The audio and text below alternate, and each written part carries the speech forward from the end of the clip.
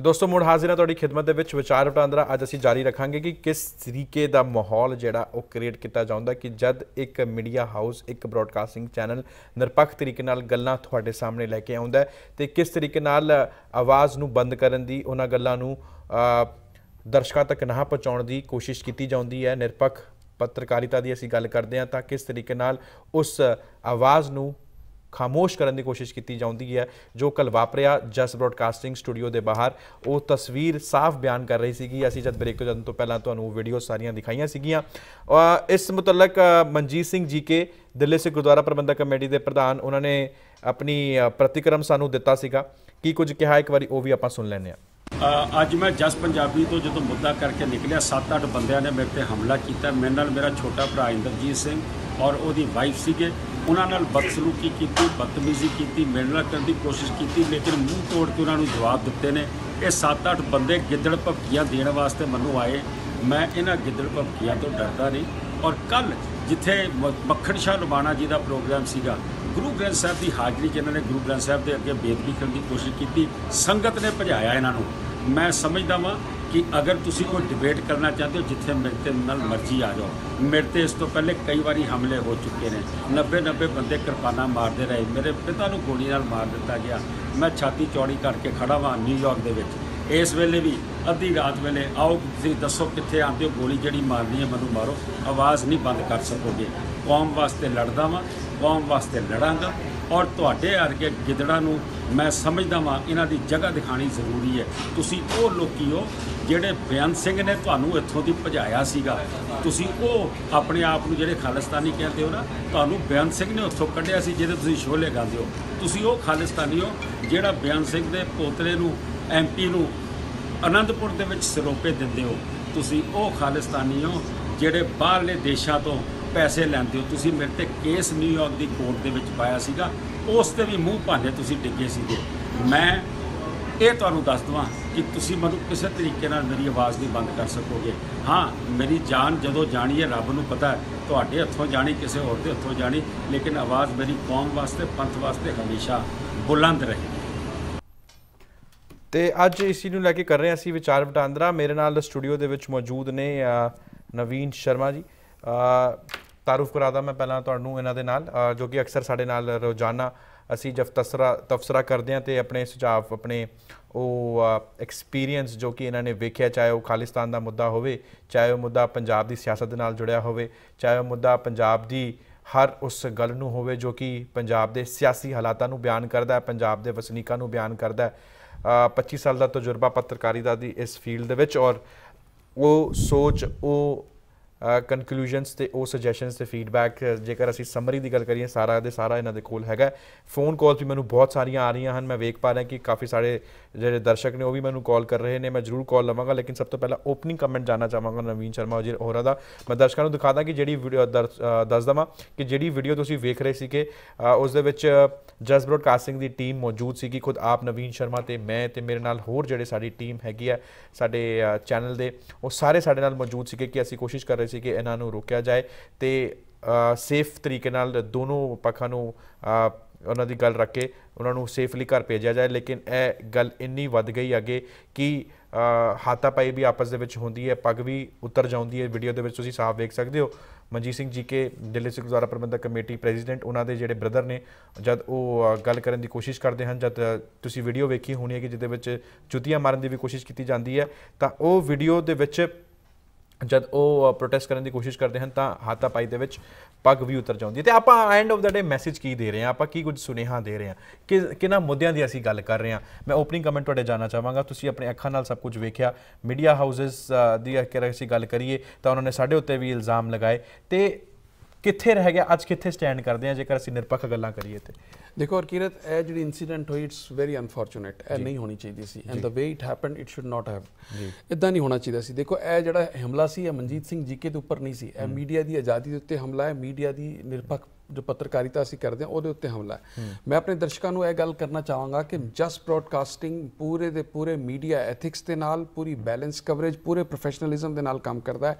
ਔਰ ਕਿੰਨੇ ਸਾਲਾਂ ਤੋਂ ਕੋਈ ਐਸੀ ਕੋਈ ਸ਼ਿਕਾਇਤ ਨਹੀਂ we always try to give a balance coverage ਅਸੀਂ ਜਦੋਂ ਕੋਈ ਕਵਰੇਜ ਦੇ ਕੋਈ ਸੈਂਸਿਟਿਵ ਸਟੋਰੀ ਦਿਖਾਉਂਦੇ ਆ we try to show the both sides of coin ਇਹ ਸਾਡੇ ਗੈਸਟ ਆਏ ਸੀਗੇ ਇਹਨਾਂ ਨੇ ਅੱਜ ਦਾ ਮੁੱਦਾ ਪ੍ਰੋਗਰਾਮ 'ਚ ਬੈਠੇ and he was talking about 1984 riots ਸੱਚ ਦੀ ਦੀਵਾਰ ਐਂਡ ਆਲ ਦਿਸ ਥਿੰਗਸ ਉਸ ਤੋਂ ਬਾਅਦ ਜਦੋਂ ਥੱਲੇ ਗਏ ਦ ਵੇ ਦ ਪੀਪਲ ਹੈਵ ਰਿਐਕਟਡ ਵੀ ਵਰ ਆਲ ਪ੍ਰੈਜ਼ੈਂਟ देयर ਉਹ we tried to stop them and it was very unfortunate ਉਹਨਾਂ ਨੂੰ ਇਦਾਂ ਬਿਹੇਵ ਨਹੀਂ ਕਰਨਾ ਚਾਹੀਦਾ ਤਰੀਕਾ ਗਲਤ ਸੀਗਾ ਜੋ ਉਹਨਾਂ ਨੂੰ ਕੋਈ ਰੋਸ ਮੁਜ਼ਾਹਰਾ ਕਰਨਾ ਹੈ ਕੋਈ ਪ੍ਰੋਟੈਸਟ ਕਰਨਾ ਹੈ ਦ ਤਰੀਕਾ Are they were peoples or hooligans? What do you give them? Are they were people or No, hooligans? no, they they were hooligans, they were gundas, I would say because ਉਹਨਾਂ ਤੋਂ ਕਾਫੀ ਬੰਦੇ drunk ਸੀਗੇ I have seen it myself ਉਹ ਸਾਰੇ ਅਸੀਂ ਉੱਥੇ ਮੌਜੂਦ ਸੀਗੇ we try to stop them ਉਹਨਾਂ ਨੇ ਪਰ ਉਹ ਜਿਸ ਤਰ੍ਹਾਂ ਉਹਨਾਂ ਨੇ ਗਾਲਾਂ ਕੱਢੀਆਂ ਜਿਸ ਤਰ੍ਹਾਂ ਉਹਨਾਂ ਨੇ ਹਮਲਾ ਕੀਤਾ ਦ ਲੇਡੀ ਵਾਸ देयर ਦੇ ਡਿਸਰਿਸਪੈਕਟਡ ਦ ਔਮਨ ਉਸ ਤੋਂ ਬਾਅਦ ਉਹ ਜਿਹੜੇ ਉਹਨਾਂ ਦੇ ਬ੍ਰਦਰ ਸੀ ਉਹਨਾਂ ਦੀ ਪਗੜੀ ਤੱਕ ਲਾ ਕੇ ਸੁੱਟੀ ਤੋਂ ਦੇ ਵਰ ਦੇ ਡਿਡਨਟ ਹੈਵ ਐਨੀ ਐਥਿਕਸ ਉਹ ਸਿਰਫ ਇੱਕ ਸ਼ੋਰ ਮਚਾਉਣਾ ਚਾਹੁੰਦੇ ਸੀਗੇ ਉਹ they just wanted to show their presence they just wanted to be noticed or ਇਹ ਵੇ ਕਿ ਉਸ ਤੋਂ ਬਾਅਦ ਜਦੋਂ ਪੁਲਿਸ ਦੇ ਆਉਣ ਦੀ ਗੱਲ ਹੋਈ ਤੇ they all of them fled away ਪਰ ਚਲੇ ਗਏ ਉੱਥੋਂ ਸਾਰੇ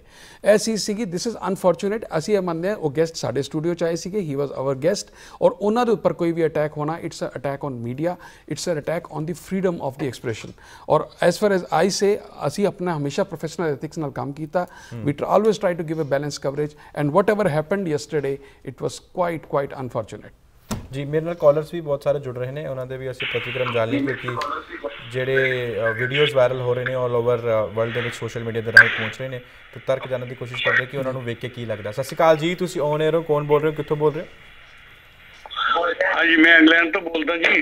ਜੀ ਸਤਿ ਸ਼੍ਰੀ ਅਕਾਲ ਜੀ। ਸਤਿ ਸ਼੍ਰੀ ਅਕਾਲ ਜੀ ਤੇ ਸੈਮਸੰਗ ਟੂ ਦਾ ਨਾਮ ਹੈ ਜੀ। ਜੀ।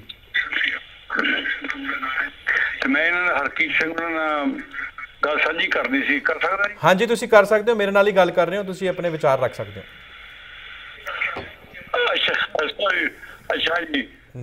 ਤੁਹਾਨੂੰ ਦੋਹਾਂ ਨੂੰ ਬਹੁਤ ਪਿਆਰ ਭਰੀ ਸਤਿ ਸ਼੍ਰੀ ਅਕਾਲ। ਸਤਿ ਸ਼੍ਰੀ ਅਕਾਲ ਜੀ ਸਤਿ ਸ਼੍ਰੀ ਅਕਾਲ। ਅੱਛਾ ਮੇਰਾ ਵਿਸ਼ਾ ਇਹ ਹੈ ਕਿ ਜੋ ਕੁਛ ਉੱਥੇ ਸਰਦਾਰ ਜੀਕੇ ਜੀ ਨਾਲ ਵਾਪਰਿਆ ਜੀ। ਉਹ ਇਹਨਾਂ ਮੰਦਭਾਗਾ ਤੇ ਇਹ ਜਾਨੀ ਉਹਦੇ ਵਿੱਚ ਇਹ ਆਪਾਂ ਆਪਾਂ ਕਹਿ ਸਕਦੇ ਹਾਂ ਕਿ ਸੱਚ ਦੀ ਆਵਾਜ਼ ਨੂੰ ਜਿਹੜੀ ਬੁਲੰਦ ਹੋ ਰਹੀ ਆ ਜੀ। ਉਹਨੂੰ ਕਿਸੇ ਤਰੀਕੇ ਨਾਲ ਵੀ ਉਹਨੂੰ ਰੋਕਿਆ ਜਾਵੇ ਚਾਹੇ ਗੁੰਡਿਆਂ ਨੂੰ ਵਰਤ ਕੇ। ਚਾਹੇ ਹੋਰ ਕੋਈ ਹੀਲੇ ਜਿਹੜੇ ਕਰਦੇ ਹਨ। ਜੀ। ਉਹਨਾਂ ਦੇ ਨਾਲ ਇਹ ਆ ਵੀ ਉਹ ਉਹ ਇਹ ਚਾਹੁੰਦੇ ਆ ਵੀ ਇਹਨਾਂ ਦੀ ਇਹ ਜਿਹੜੀ ਚੜ੍ਹਦੀ ਕਲਾ ਸਿੱਖਾਂ ਦੀ ਹੋ ਰਹੀ ਆ। ਉਹਨੂੰ ਕਿਸੇ ਤਰੀਕੇ ਨਾਲ ਦਬਾਇਆ ਜਾਵੇ। ਜੀ ਕਿਉਂਕਿ ਜੀ ਦਿੱਲੀ ਦੇ ਵਿੱਚ ਕਾਫੀ ਪ੍ਰਭਾਵ ਹੈ ਜੀ। ਸਿੱਖੀ ਬੁਲੰਦ ਕਰਨ ਦੇ ਵਿੱਚ।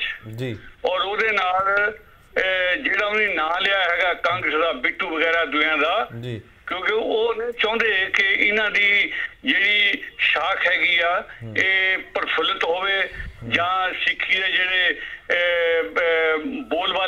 ਉਹ ਉੱਚਾ ਹੋਵੇ ਕਿਸੇ ਤਰੀਕੇ ਨਾਲ ਵੀ ਜੀ ਜੀ ਜੀ ਹੁਣ ਇਹ ਇਹਨੂੰ ਇਹਨੂੰ ਇਹ ਇਹ ਤਰੀਕਾ ਤੁਹਾਡੇ ਦਫ਼ਤਰ ਵਿੱਚ ਵਰਤਿਆ ਤੁਹਾਡੇ ਦਫ਼ਤਰ ਬਾਹਰ ਵਰਤਿਆ। ਇਹ ਬਹੁਤ ਮੰਦਭਾਗੀ ਗੱਲ ਹੈ। ਬਹੁਤ ਮੰਦਭਾਗੀ ਜੀ, ਇਹਨੂੰ ਜੀ। ਜਿੰਨਾ ਵੀ ਇਹਦੀ ਨਿੰਦਿਆ ਕਰੀਏ ਥੋੜੀ ਹੈ ਲੇਕਿਨ ਗੱਲ ਇੰਨੀ ਹੈ ਕਿ ਇਹਦਾ ਅਸਰ ਫੇ ਪੰਜਾਬ ਵਿੱਚ ਵੀ ਜਾ ਰਿਹਾ। ਉੱਥੇ ਉੱਥੇ ਵੀ ਇਹਦੀ ਆਵਾਜ਼ ਜਿਹੜੀ ਆ। ਉਹ ਉੱਥੇ ਜਾ ਰਹੀ ਆ ਔਰ ਔਰ ਪੰਜਾਬੀਆਂ ਨੂੰ ਇਸ ਗੱਲ ਦਾ ਬਹੁਤ ਦੁੱਖ ਆ। ਚਾਹੇ ਉਹ ਕਿਸੇ ਪਾਰਟੀ ਨਾਲ ਵੀ ਬਿਲੋਂਗ ਕਰੇ। ਪੰਜਾਬੀ ਦੇ ਉੱਤੇ ਜਿਹੜਾ ਹਮਲਾ ਹੋ ਰਿਹਾ ਜੀ ਇਹ ਸਹਿਣਯੋਗ। ਨਹੀਂ ਕਿਸੇ ਵੀ ਪੰਜਾਬੀ ਤੇ ਹੋ ਰਿਹਾ ਔਰ ਜੀਕੇ ਦੀ ਕੋਈ ਐਸੀ ਗੱਲ ਕਿਸੇ ਵੀ ਸਿੱਖ ਨੇ ਨਹੀਂ ਸੁਣੀ। ਜਿਹਦੇ ਨਾਲ ਕਿ ਕਿਸੇ ਨੂੰ ਇਹਦਾ ਦੁੱਖ ਲੱਗਾ ਹੋਵੇ ਨਾ ਉਹਨੇ ਤੁਹਾਡੇ ਦਫ਼ਤਰ ਵਿੱਚ ਕੋਈ ਇਦਾਂ ਦੀ ਗੱਲ ਕਹੀ ਹੈ। ਨਾ ਉਹਨਾਂ ਨੇ ਬਾਹਰ ਕਿਸੇ ਨੂੰ ਕਹੀ ਹੈ ਉਹ ਇਹ ਜ਼ਰੂਰ ਹੈ ਕਿ ਜ਼ੁਲਮ ਦੇ ਖਿਲਾਫ ਉਹ ਗੱਲ ਜ਼ਰੂਰ ਕਰਦੇ ਆ। ਜਿਹੜਾ ਕਿ ਉਹਨਾਂ ਦਾ ਹੱਕ ਬਣਦਾ ਹੈ। ਜੀ। ਜੇ ਅਸੀਂ ਜ਼ੁਲਮ ਦੇ ਖਿਲਾਫ ਹੱਕ ਨਹੀਂ ਆਪਣਾ ਹੱਕ ਜਿਤਾ ਨਹੀਂ ਸਕਦੇ।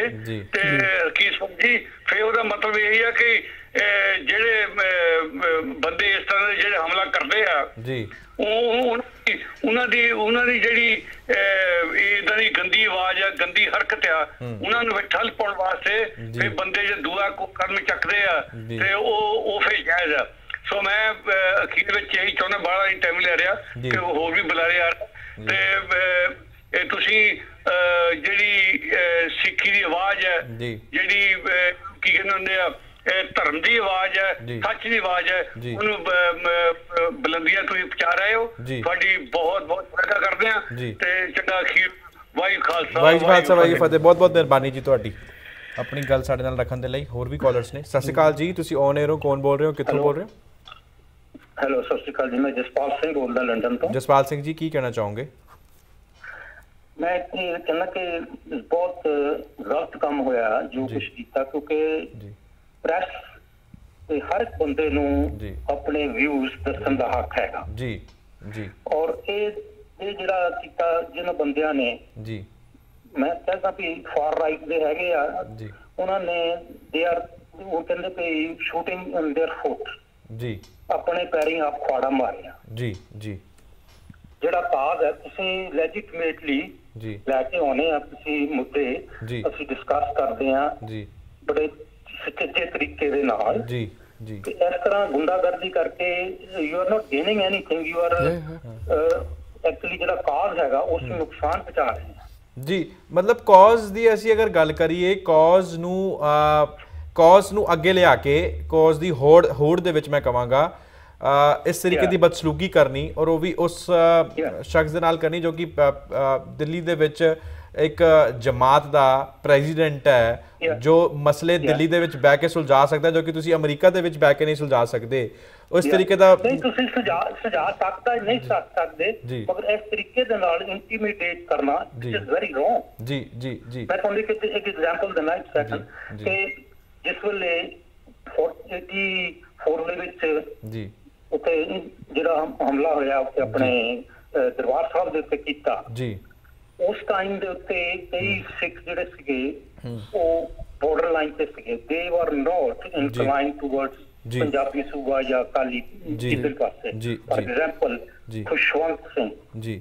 ਵੱਡੀ ਹਸਤੀ ਤੁਹਾਨੂੰ ਪਤਾ ਹੋਣਾ ਜੀ। ਹੈਂ ਜੀ ਜੀ। ਖੁਸ਼ਵੰਤ ਸਿੰਘ ਉਹਨੇ ਆਪ ਆਰਟੀਕਲ ਦਿੱਤੇ ਸੀਗੇ ਕਿ ਇਹ ਬੜੀ ਮੰਦਭਾਗੀ ਜਿਹੜੀ ਗੱਲ ਹੋਈ ਆ ਕਿ ਇੰਦਰਾ ਗਾਂਧੀ ਨੇ ਅਟੈਕ ਕੀਤਾ। ਔਰ ਉਹਨਾਂ ਲੋਕਾਂ ਦੀ ਉਹਦੇ ਵਰਗੇ ਕਈ ਲੋਕਾਂ ਦੀ ਜਿਹੜੀ ਸਿੰਪਥੀ ਸੀਗੀ ਸਿੱਖ ਹੋਈ ਰਾਦਰ ਦੈਨ ਦੇ ਵਰ ਨਿਊਟਰਲ ਬਿਲਕੁਲ ਜਸਪਾਲ ਜੀ ਆਪਾਂ ਇਸ ਬਾਰੇ ਵਿਚਾਰ ਵਟਾਂਦਰਾ ਰੱਖਾਂਗੇ ਲੇਕਿਨ ਅੱਜ ਅਸੀਂ ਜਿਸ ਮੁਤਲਕ ਗੱਲ ਕਰ ਰਹੇ ਹਾਂ ਤੇ ਮੈਂ ਨਹੀਂ ਚਾਹਨਾ ਕਿ ਨਹੀਂ ਨਹੀਂ ਸਾਡਾ ਮੈਂ ਇਹ ਕਹਿ ਰਿਹਾ ਵੀ ਜਿਹੜਾ। ਪਾਸ ਹੈਗਾ ਨਾ। ਇਸ ਵਾਸਤੇ ਇਹ ਬੜੀ ਬੜੀ ਨਾ ਨੁਕਸਾਨ ਦੇ ਇਹ ਗੱਲ ਹੈਗੀ ਆ ਜੀ ਜੀ ਜੀ ਜੀ ਮੈਂ ਥੈਂਕ ਯੂ ਕਹਿਣਾ ਚਾਹੁੰਦਾ ਤੁਹਾਨੂੰ ਤੁਸੀਂ ਆਪਣੇ ਵਿਚਾਰ ਸਾਡੇ ਨਾਲ ਸਾਂਝੇ ਕੀਤੇ। ਮੈਂ ਸਿਰਫ ਇੱਕ ਨਿੱਕੇ ਜਿਹੇ ਵਕਫੇ ਲਈ ਇੱਥੇ ਰੁਕ ਰਿਹਾ। ਮੈਂ ਵੇਖ ਪਾ ਰਿਹਾ, ਕਾਫੀ ਸਾਰੀ ਕਾਲਸ ਇਸ ਟਾਈਮ ਕਿਊ ਦੇ ਵਿੱਚ ਪਈ ਹੈ। ਜਿਹੜੇ ਮੇਰੇ ਕਾਲਰਸ ਇਸ ਟਾਈਮ ਕਾਲ ਕਰ ਰਹੇ ਨੇ, ਤੁਸੀਂ ਆਪਣੀ ਕਾਲ ਨੂੰ ਨਾ ਕੱਟਿਓ। ਮੈਂ ਕਿਊ ਦੇ ਵਿੱਚ ਪਾ ਰਿਹਾ। ਲਵਾਂਗਾ ਤੁਹਾਡੀ ਕਾਲਸ ਇਸ ਬ੍ਰੇਕ ਤੋਂ ਉਸ ਪਾਰ।